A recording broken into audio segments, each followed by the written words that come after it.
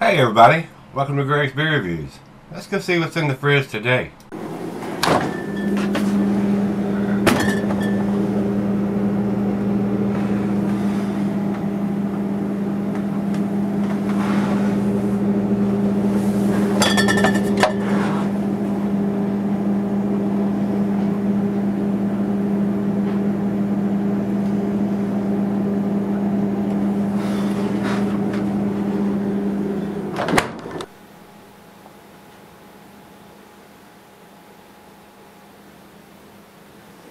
Hello everybody, welcome to Greg's Beer Reviews today. Thanks so much for stopping by, I do appreciate it.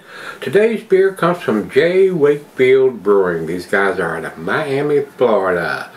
Uh, Sunshine, Sunshine State. Uh, this is an 8.6% uh, double IPA. Uh, Untappd says it's a New England style. Beer Advocate doesn't even have it listed, so it's probably a new release and nobody's commented on that site, imagine that uh, because only 246 people have commented. Only 246 people have commented on uh, Untappd. Says here, beads and bling is all you need during parade season. This big double dry hop, double IPA was generously dry hop with loads of Cryo, Bravo, Cryo, Calypso, Sabro, Vic Secret, and Hallertau Blanc hops. So, a lot of hops in this beer, guys, and it was double dry hopped on top of that. So, uh, and Vic Secret Southern Hemisphere hop should get some good spicy notes from that. Plain Jane Silver can. And on the bottom it says here, show me something, 021921. So February 19th of 21 is what it's put in the can. So let's get it popped open and get it into the glass.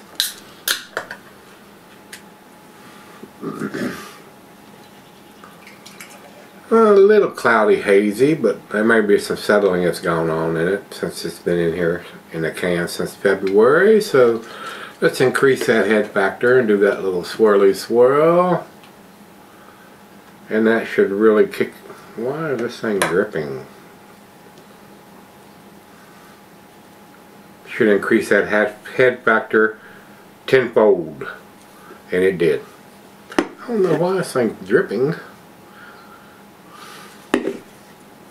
Anyway, about two fingers of head on that pour. That's a good looking beer. There are some floaties coming out of it, so there was some settling going on in it evidently because there's some chunkiness uh, floating around in the beer. I can see light through the thin part of the glass here on the bottom, so uh, doesn't not to the orange juice style where it's cloudy all the way through. There is some light coming through the thin part of the glass. So, uh, in my opinion, close. But as the people in Florida say, cigar city, no cigar. So, uh, it's close. I mean, it's close. Uh, it's not claiming to be a New England style on the can anymore. People like Untappd and Beer Advocate and uh, they want to throw that New England phrase around very loosely. So maybe this is their attempt at it, as I don't have any idea. I don't think I've had anything from this brewery before. Nothing is standing out in my mind. So, looks good though. I mean, it's a good looking beer. To the nose we go. Nice citrusy notes. Uh, very subtle hints of pine. A little bit of grapefruit. I was expecting a whole lot more aroma from that many hops. Unless my nose is not working today. Maybe a hint of some oranges or tangerines, not much. Well, that's what it is. Let's dive in. Cheers.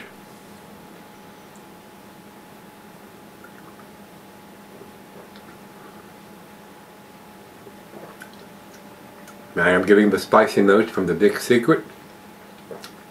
Almost a peppery taste to it.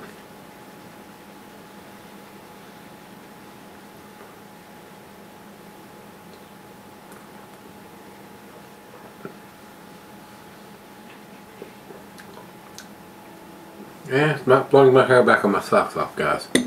Alcohol is well hidden for an 8.6%. But with that many different hops, I was expecting, being double dry hopped on top of that, I was expecting a lot more aroma and taste from this beer. A little disappointed right now, so. Not sure this would be on my shopping list again. Little swirly swirl. Let's get it into the glass. There's some big chunks coming out now. Big chunkiness. I mean great big chunks.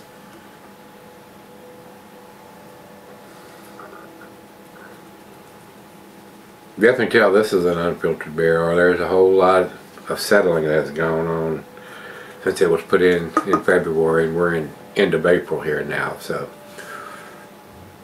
almost at the end of its shelf life to me guys since it was put in here on February 19th March 19th yeah two months April 19th um, so still got another three weeks or so but still uh, maybe just a little cloudier now that I've got all of it in there so yeah it definitely looks like orange juice in the glass now with a whole lot of big chunks floating around in it too. So uh, let's let it come up to room temperature, guys, and sip on it for a little bit and see what we end up with. So I don't want to mealy mouth the. It's liable to come, liable to be a 10 by the time I get to the end of it.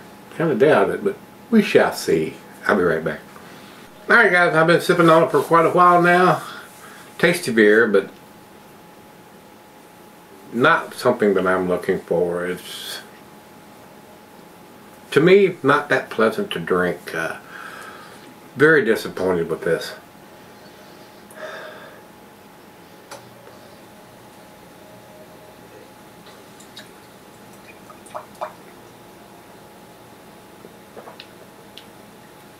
Very bitter. It's very, very bitter. Would not buy this again. Final joke.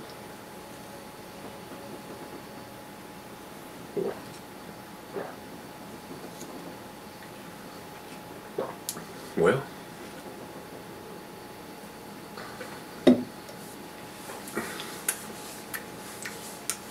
I thought it was tastier cold, but I did after it's warmed up here.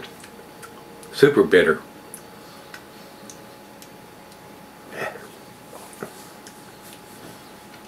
I'm gonna give this a B, guys. 85. Uh, not impressed at all with this one. Like I said, if you're gonna drink, if you're gonna buy this and drink it, drink it cold, super cold. Because after it warms up, it's not very pleasant. Mm. Very bad aftertaste in my mouth. B, 85, and I'm giving it benefit of the doubt because it does have a canned on date on it and it has the ABV on the label, but not pleasant. Not pleasant. Uh, Beer Advocate doesn't even have it listed, like I said earlier. Uh, probably a new offering from them. Uh, I might something else just to get the taste out of my mouth. That is not, uh, like I said, I could real easy give this a C. Uh, mm. Untappd has at 3.71, which is in their B range also. Uh, it's what it is, guys. I mean, I'm not holding anything back. I try to be as honest as I can with you guys. Uh, I thought it was a little tastier cold than I do now that it's warmed up to room temperature. The last little bit that I drank was a chore. So uh, that that hop combination did not work for me. You may love it.